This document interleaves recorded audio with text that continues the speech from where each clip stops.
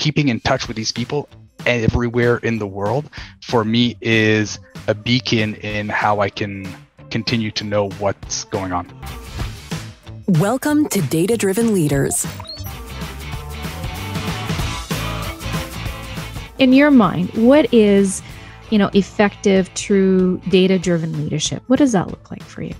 It's going to depend a little bit on your organization as well. Is it going to yeah. be more someone who's focused on a data defensive strategies. It's someone that's more focused mm-hmm. on a data offense, you know, acquisition, customer acquisition, and sales, and leveraging data to generate revenue. But your data leadership is going to be about openness, about collaboration, about business value, not doing technical projects because you think they're cool and you want to try the latest tool, but rather always starting from what are we trying to accomplish as an organization.